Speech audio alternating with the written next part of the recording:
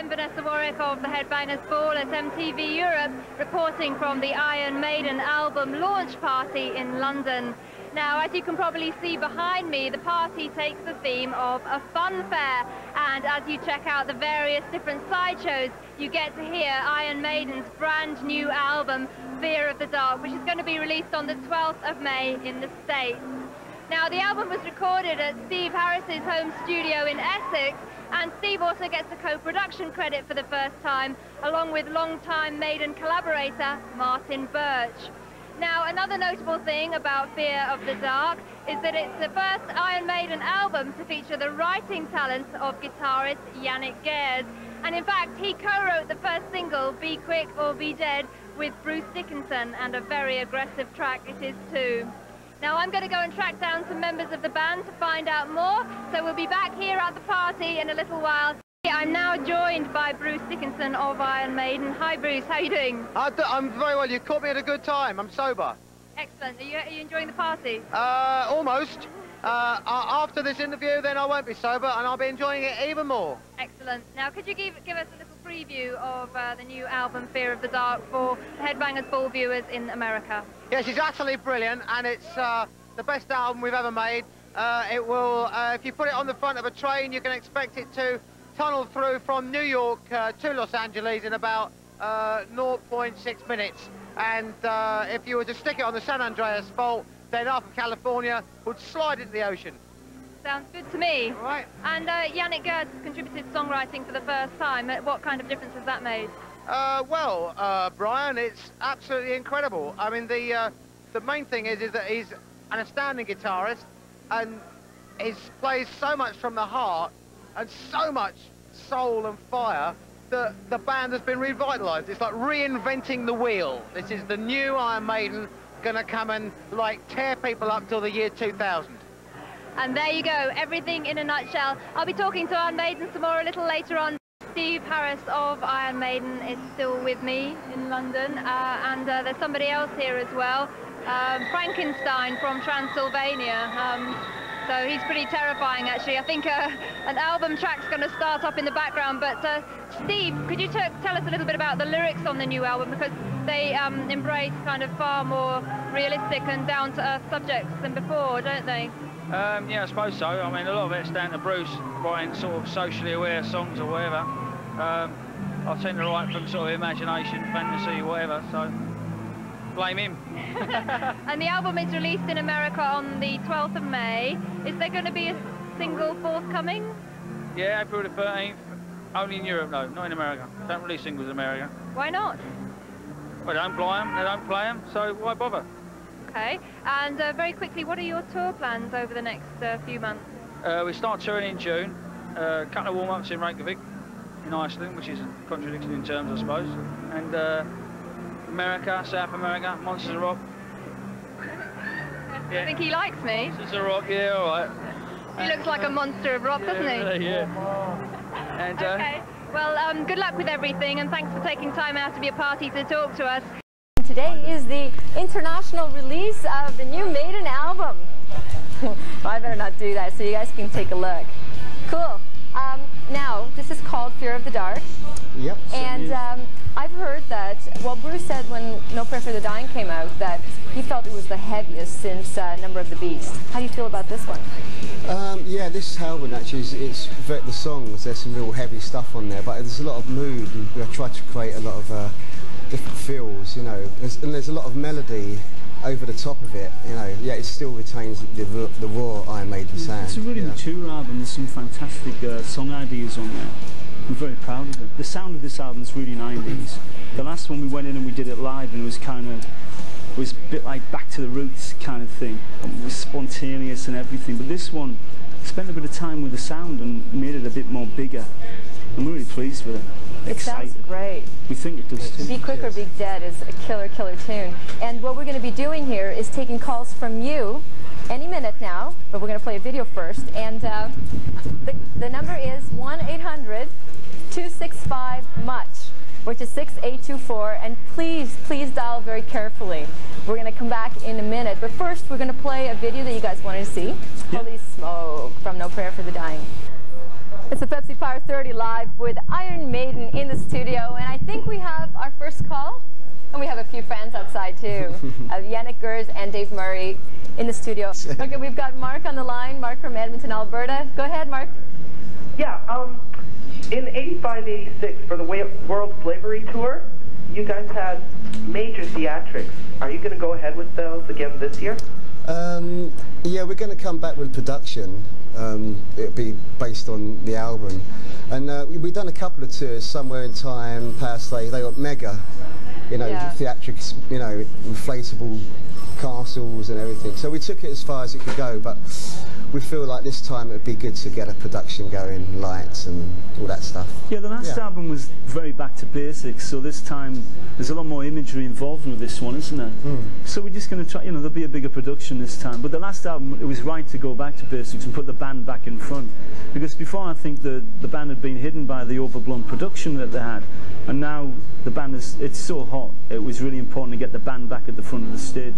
But we probably take a bigger production out this time. Hmm. I think that's right. Yeah. So, Okay, Michelle in Creston, BC. Go ahead, Michelle. Hello. My question is, since you've been going for um, over 20 years now, um, is there anything that you felt you've had to compromise to keep up with the times? Well, Dave. after going for wait, 20 years, so that's quite a 20? while. Um, I think probably more like 15 or 16, Yeah, it hasn't something like been that. quite Nearly 20 close. yet. Yeah, we'll probably reach the year 2000. yeah. It'll probably be like 20 years, I, I hope. Um, yeah, I think the, the success of the band has been like, you know, touring, albums, tour, that sort of thing. We're still going to be going. Lots of albums. we'll have wheelchairs, Yeah, we have, yeah. We'll be You have 90. new we'll be- material all yeah. the time. Yeah. When we're 90, we're going to be I think- have the wheelchairs and we're going to be wheeling about the stage going. With the little Iron to Maidens coming along." That's it, yeah. We'll have like pyros, pyros coming out the back and, you Now, know, the thing is, we just yeah. got a, a real enthusiasm for playing live, and basically that's it. We, we really love playing live. And, And that hasn't changed. yeah, for me, I'm only I'm only new in the band. I've been there two years now, but the, when we when we do gigs, everyone is so excited. That, that's what we do it for. Okay. Let's throw to a couple of the videos that you wanted to see. And uh, Guns N' Roses, oh, Led Zeppelin, I think we only have time for. So let's check it out. Led Oh, yeah. Zeppelin on Power 30, and we'll be back. Really? Yay! Back with Iron Maiden on the Power 30. We're going straight to a phone call here from Kelly and Christine in Calgary, Alberta. Go ahead. Um, hi, we were wondering, out of every place you've ever played, what's been your favorite and why? Oh, that's a So tough many one. places. yeah. Um, Everywhere's good for different reasons. You just you, you know you try and it's just good to play. Yeah. You can't pick a. I think Donington '98. I was at the gig and I watched Dave and the boys, and I think that was the pinnacle, wasn't it? Yeah, that was the was band. special. Where was that? uh, in Donington. Donington. Yeah. Oh. But I think each, each you know show you do is special to the, the you know the, the fan that comes to the show. And for you, you kind of just put, put on uh, when put the best performance you can that night. So each show has a little bit of magic in itself, and um, so to have one particular, maybe Donington, is that that could be it. That was happening. Yeah, yeah. Okay. All right. All right. Sorry Thank you, that. Kelly and Cheers. Christine. Cheers, Kelly. Bye. Bye. Cheers. Bye. Um, Stay there. We're coming to the end of the show, unfortunately. It goes by fast, doesn't it? And we're going to play your new video, but let's talk a little bit about it. Uh, Janick, you co-wrote it with Bruce Dickinson. Yeah, it's quite a topical thing. It's about it's about corruption and big business, and it's something that the band, you know, it's been around. We see it happen. The BCCI thing, uh, Robert Maxwell, you know, the, the problems that came out of his death, and uh, it just generally goes on. There's a lot of corruption in big business, and that's So what the song's about. So it's be quick or be dead. Like you better get them before they get you. Yeah, kind of there's a, yeah, it's kind of there's a lot of insider dealing and stuff that goes on. We all know about. You know, How it's all there. it? You can't, you can't, but it's always the little people who tend to get caught for those things, and the big people who make millions and billions get Yeah. away with it. Yeah, I was reading through the lyrics, and there aren't, you know, a lot of like mythical beasts and old English literature, things like that. It seems to be about the real world. Yeah, it's more about current affairs, really. Um, there's a few songs that talk about things that happened last couple of years, really. And whereas, yeah, it's not to say in the future we may go back into that, you know, that sort of, you know, writing stuff about books and. Hey, there's no rules, stuff. you know. It's music. We can do what we like. Yeah. So it's fun to just go off on a tangent. That, that- that's the thrill of it. There's no EMI or any company, Sony or anybody telling us what to do. We just do it and give them it, and it's up to them to put it out. You know, there's no direction from an outside source. We just do what we feel is right. We've got actually a broad base to work on. Mm. We can, you know, we can go spread ourselves out over a lot of things. We're not kind of stifled, just in- channeled in one thing. So, Right. you know, that's that's the beauty, I think, of it all. Yeah. All right, let's check it out. Be Quick or Be Dead, the new one from Iron Maiden. And thank you very much, both of you, you. Dave and Janick, for Cheers. joining Thank us you. today. Thanks Cheers. having. Thanks a lot. Iron Maiden, Bruce Dickinson in the house. How you doing, man? Good to see you.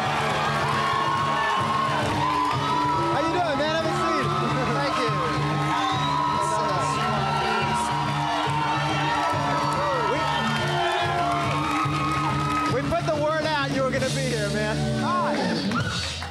So welcome. How you doing? I'm doing Good to have fine. you here. I'm, I'm- You, you've actually been in this building uh, a lot of the day today because you were next door doing tomorrow night's yeah, headbangers. Three hours sleep. Yeah. Doing a- good on three hours sleep. Yeah, I'm sure it's a good. You and Nicko are doing headbangers for tomorrow, isn't that right? Uh, yeah, tomorrow night. Right. Uh, in fact, we'll be we'll be a mile high, so Yeah? to speak, in Yeah. Denver. Yeah. Something like Uh, that. Yeah. So you're out of here and going to Denver, continuing Uh, the go- tour. we're going to Denver tonight, actually. Right. I've got to be on the radio at midnight. So. Right.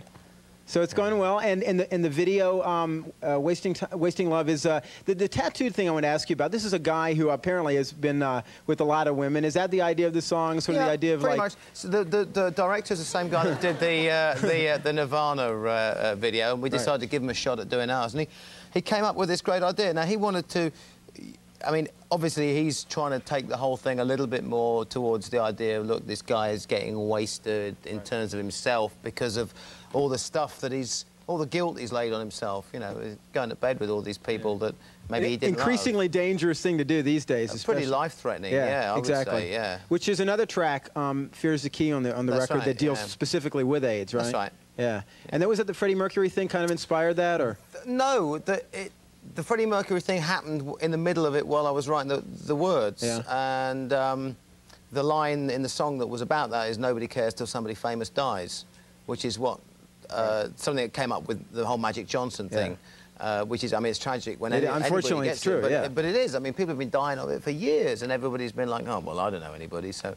Um, but um, anyway, so that's that was that particular song, yeah. Now, in fact, um, in the piece we ran before the video, we had a little bite of you talking about how the, the songs on this album are probably more, I don't know if you'd say topical, maybe, you know, uh, have to do with sort of current things that people real. are talking about these days. They're more real. Real world yeah. type of thing. I mean, the thing is, we, we made a name for ourselves when we first started out, writing a lot of songs about uh, sort of mythology and, Mm-hmm. um, and things like that, and history, famous battles we've known and stuff like that, um, which was real different at the time. And then lots of other bands started doing it.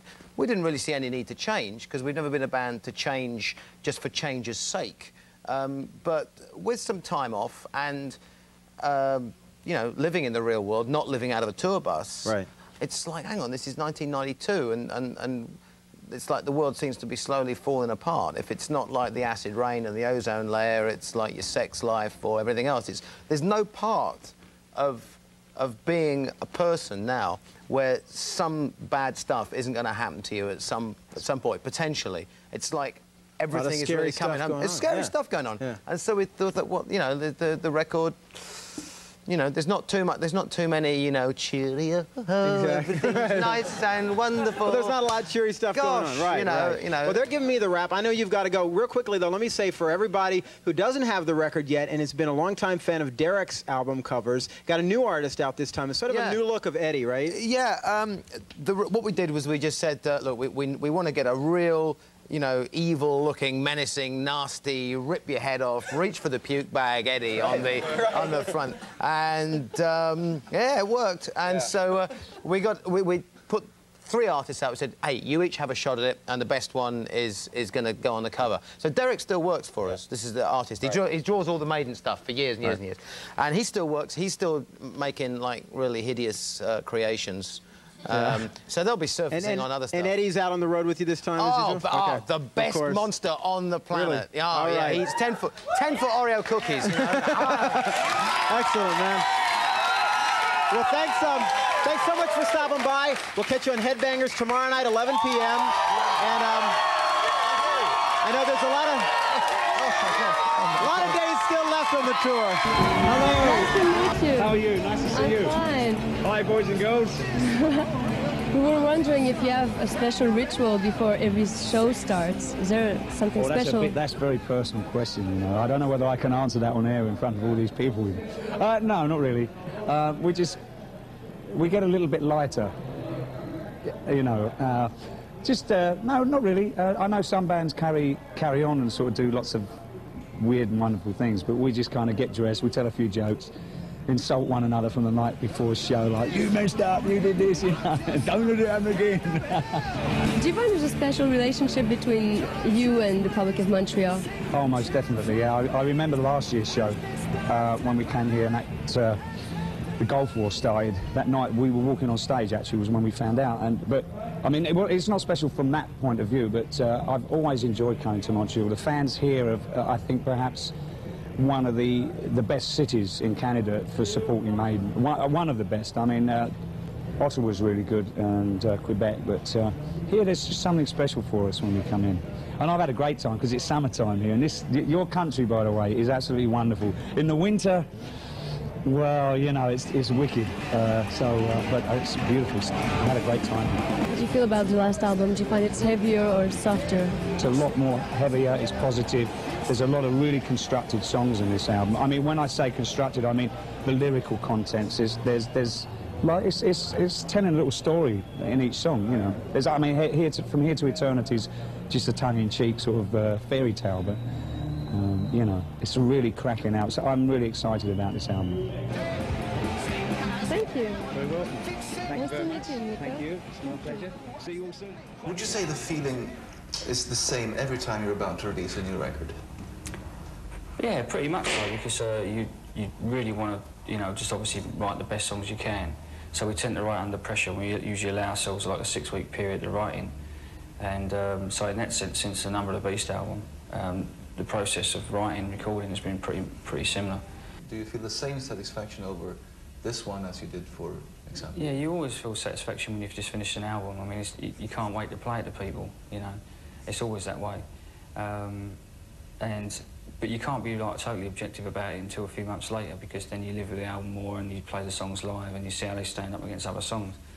Um, but obviously after you just finished an album, you obviously, you know, you, you, you tend to think it's the best thing you've done because it's fresh and exciting and, and uh, it's new and everything else. So um, I think, you know, like maybe in a year's time I'll be more objective and compare it more to the other albums, really. But I think it's a very strong album, you know. I mean, I think all the albums we've done have been very strong. I mean, the songs, the bottom line is the songs. Fear of the Dark, to me, seems to be a little more sinister than, than Maiden has been for a while. It, it has this evilness a little bit over it that disappeared for a while, I think. Um, I don't know if it's really evil. Sinister, I'd agree, sinister, eerie perhaps, but I don't know about evil. Um, I think the song itself just uh, conjured up sort of um, weird sort of, you know, imagery for me to want to write about that. Um, and some of the other songs have got a very strong mood on, like Afraid to Shoot Strangers, it's very moody. But there's so many different things happening on the album, so varied, you couldn't really take one song off the album and say that's representative of the album. Um, and I think that's probably because there's like four different songwriters, different collaborations going on, like with Janick coming in the band and everything, and writing stuff. And um, it's some of it's quite different. Um, Fear is the key. Doesn't that Yeah. sound like Gillan a lot? I mean, Bruce almost Um, sounds like Ian singing.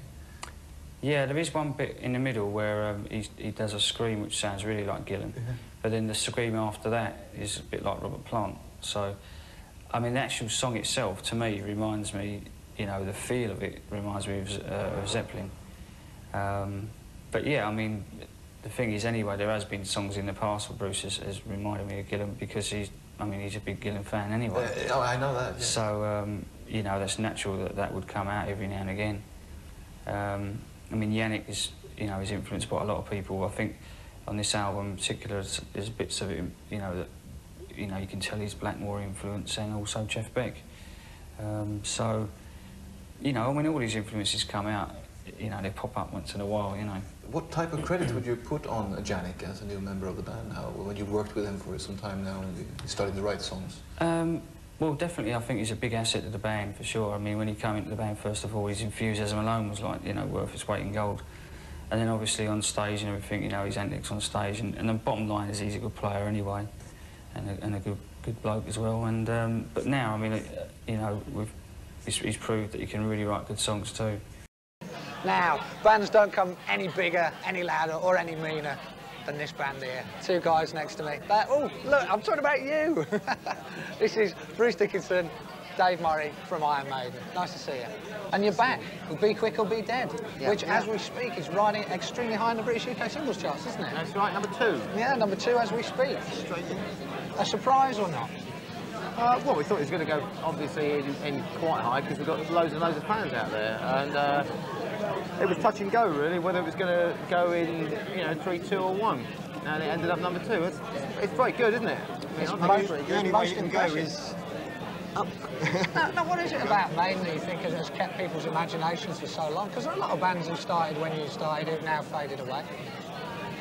Um, well, I think we've always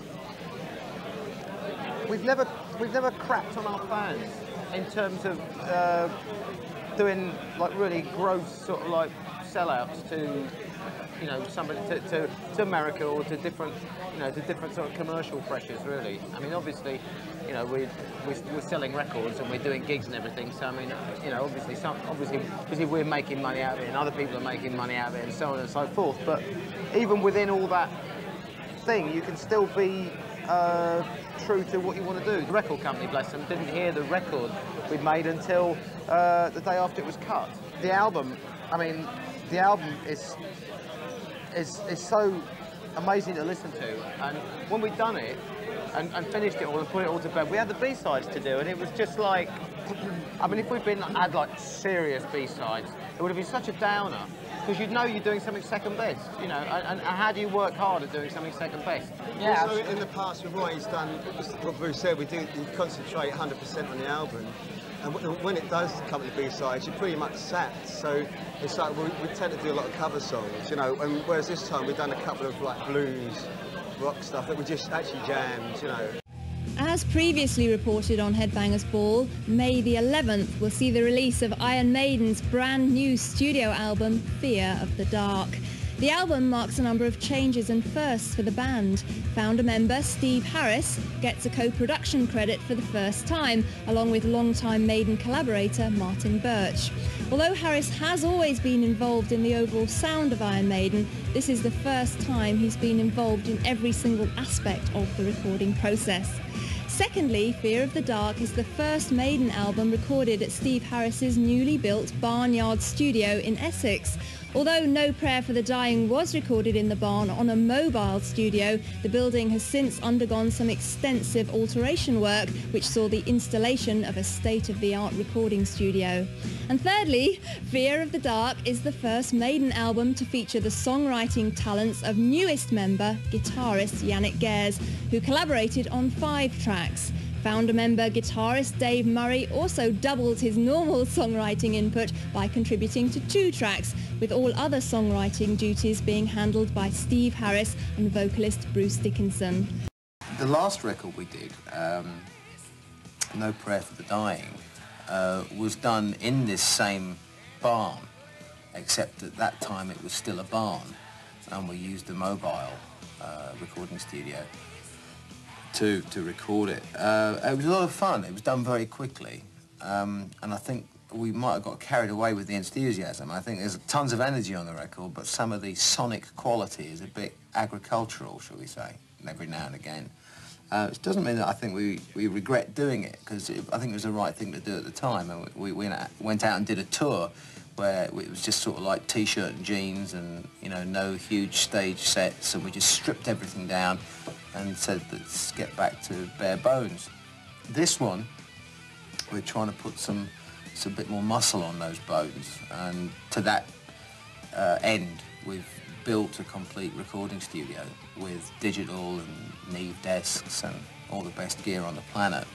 And we've spent a lot longer um, getting sounds that we think match up to the power of the songs and the power of the riffs and things like that. I think that's one, one reason perhaps why um, sometimes some people have been a bit loath to play us on the radio every now and again, is that uh, perhaps certain ones of the tunes don't sound as good on the radio as they could do. Um, which is not saying that we're going to, we're trying to make radio type music, uh, not not with uh, an album title like Fear of the Dark and uh, uh, songs like Be Quick or Be Dead, which is the first single. It's not quite a speed metal or a thrash metal track, but it's it's it's a, a pretty up tempo sort of song, and uh, it hasn't got any. Uh, there's not a lush harmony in sight, you know, and it's also it's fairly. The lyrics are um, fairly explicit about uh, you know fat capitalist bastards, you know, ripping everybody off like the Robert Maxwells and all those sorts of people. Um, Be Quick or Be Dead, it's, which is it's actually not a reference to him dying, but it's uh, it's more a reference to the state that uh, what a rotten sort of thing it must be to be, you know, 16 or 17 right now and to look at a world which seems to be stuck in permanent depression and recession and all the rest of it, um, with all the uncertainties that's going on. And there just seems to be a lot of fat men with big cigars getting away with criminal acts and getting shoved in jail for six months and having their wrists slapped, you know. And uh, I think a lot of kids must be thinking, you know, well, you know, th th there has to be a way out of this. And uh, the song is sort of saying, well, the way out of it is that you've got to sort of think quick on your feet and be smarter than these people if you're going to swim in the same river. And uh, if you want to get your own ideas and your own ideals and your own things across, you've got to be able to beat them at their own game. We did the last album here with a mobile, so we thought we might as well actually build a control room, and uh, so we could do it, you know, probably a mix here as well. So we, you know, because a lot of albums we've done in the past, we've actually recorded somewhere and then gone somewhere else to mix, and it's a bit of an upheaval you spend like ages setting up the uh, sounds again and everything for the mix. So we just thought we'd be really good to do it here, and uh, this is where we rehearse and everything anyway. Really good sound here, so just decided to go to the AOG and uh, put the uh, recording, uh, you know, actual room in, you know. Well, we actually designed the studio pretty much as we were going along. We knew roughly what we wanted to do, but with such an old building, the start you've got to be very careful because uh, in, in, case the thing falls down if you start building onto it or whatever. But so we actually built the thing sort of uh, internally under its own support and everything. Uh, so we didn't actually touch anything structurally to the outer building. Um, but we were doing things as we went along really and just testing things out. Um, you know, soundproofing wise, we actually just sort of did bits and then added bits onto it. And so it took a long time to do, but it's been worth it, well worth it. It's a very strong album and the songs are really, really strong, really excited about them. And I think it's the best sound we've ever had, which is great obviously for me being, you know, in the, the new studio and all that stuff. Um, I think it's the biggest sounding album we've had, you know, the actual drum sounds are really big and everything and uh, I just can't wait to play it to people really. For me, this is the best album that I've ever been involved in. Purely, it's it's a mature album, songs, song-wise, and I, I think the playing on it is it's phenomenal from everybody. It's been great. A lot of the, the tracks actually will lend themselves really good in you know live performance because they're really up, a lot of them are real up tempo, straight ahead sort of stuff, you know, where you can really you can really let go on them. And uh, I think they're going to come across really powerful. Yeah, a lot of the songs really, you know, I mean, most of the songs we write uh, tend to be written for live pretty much anyway. Um, there's one song on it, a really different song, Wasted Love, which Janick and Bruce wrote, which although it's a ballady type of thing, which we haven't really done before, I think, it, you know, I can really imagine it playing it live. It's, uh, you know, I mean, most of the stuff actually. I don't think there's, hardly any songs on there I would, would think we, we wouldn't really be able to do live or wouldn't work as a live song. The dark, so it's just a, basically you know, if you come in one, one, night and, you know, all the lights are out and you're fiddling around for the switch and can't find it and just feeling a bit uh, sort of strange, imagining maybe something's in the corner of the room or something looking at you or whatever. I'm sure people have had that sort of feeling, whether they've been drunk or not or whatever. And, uh, yeah, it's just all about that sort of uh, eerie sort of stuff, really. Um, just, you know, being scared sort of uh, walk when you're own in the dark room. Steve writes a lot of songs about uh, phobias, things like that. And um, I think it's it, it uh, I don't know whether it's from personal experience uh, because he wrote he wrote that particular tune. He wrote the, the, the words to that song. So um, uh, he wrote it from the point of view of a guy who's uh, wandering through the park and the lights start to go down and he starts feeling a little odd, touch of the Jekyll and Hydes. Um, and uh, whether or not it's from personal experience, again, I don't know, I can't say. Um, having never been a flasher in a park or, uh, or you know, walking sex crime or you know, axe murderer waiting to happen, uh, there, there's more, more, more than a hint that it might be that this chap wandering through the park, something strange happens to him when it's dark. The inspiration behind the album, well, it's a, a a set of songs that we want to go out and try and um, change the world with. No, no. It's uh, it's a bunch of rock and roll tunes that uh, uh, that represent Iron Maiden.